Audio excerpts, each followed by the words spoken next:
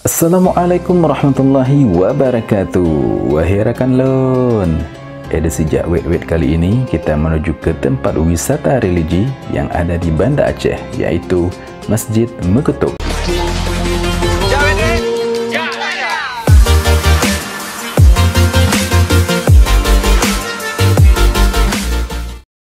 Di channel ini kamu tidak hanya menikmati tempat-tempat unik di seputaran Aceh, juga mendapatkan edukasi dan fakta yang menarik.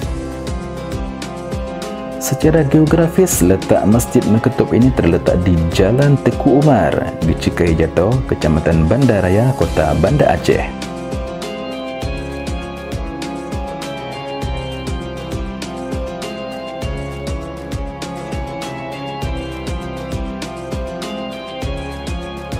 Nama asli dari masjid ini sebenarnya adalah Baitul Musyahadah. Namun dalam kesehariannya, masyarakat lebih mengenal dengan sebutan Masjid Teku Umar atau Masjid Kupiah Meketup. Sebutan ini dikarenakan bentuk kubahnya yang mirip dengan Kupiah Meketup. Kopiah atau peci tradisional Aceh yang kerap digunakan oleh pahlawan nasional seperti Teku Umar sewaktu memimpin perjuangan rakyat Aceh melawan Belanda. Baitul Musyahadah berjarak sekitar 3 km dari Masjid Raya Baitur Rahman dan dapat dicapai dengan mudah menggunakan kendaraan pribadi atau angkutan umum. Dengan arsitektur yang unik ini, tak mengherankan jika masjid ini menjadi salah satu daya tarik di kota Banda Aceh.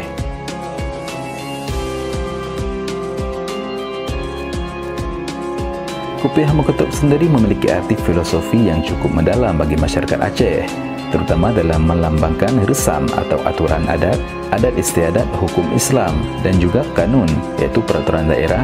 Selain itu, masjid ini juga dipilih masyarakat setempat dalam melambangkan kegigihan perjuangan pahlawan asal Tanah Rincong yaitu Teku Umar.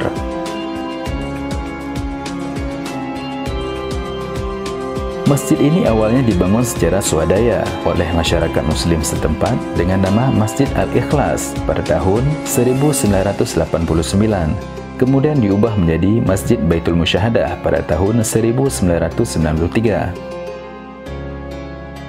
Rancangan masjid ini ditangani oleh seorang cendekiawan terkemuka di Aceh, yaitu Ali Hashimi. Beliau merancang masjid ini berdenah segi lima sebagai gambaran dari rukun Islam.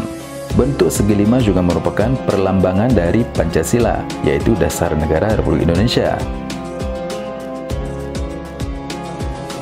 Masjid yang berdiri di lahan sekitar 3 hektar ini memiliki beberapa fasilitas seperti tempat wudhu laki-laki dan perempuan dan lahan parkir yang luas, serta ornamen-ornamen khas Aceh yang banyak dipajang di dinding masjid dan juga memiliki pintu atau pintu Aceh yang unik yang terbuat dari besi.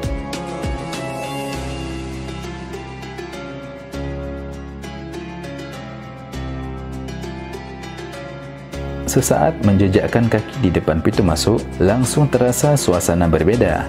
Adem, nyaman dan syahdu. Lantainya yang beralaskan marmer berkualitas tinggi memberi rasa dingin dan segar di kulit. Di bagian mihrab latar belakangnya dicat warna hijau. Ada tulisan Allah dalam bahasa Arab berukuran besar di sisi dalam mihrab.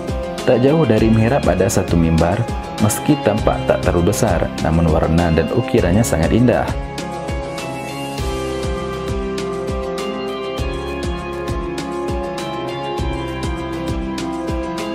Masjid ini sering juga dipakai sebagai tempat melangsungkan pernikahan, kegiatan keagamaan, kenduri, TPQ dan lainnya.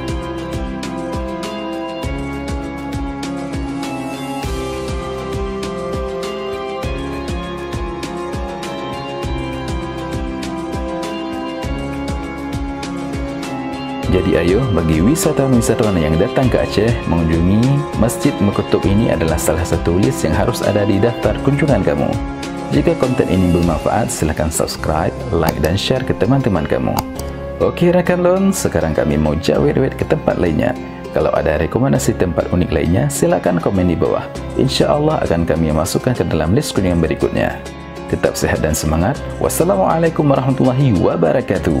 Jak wet,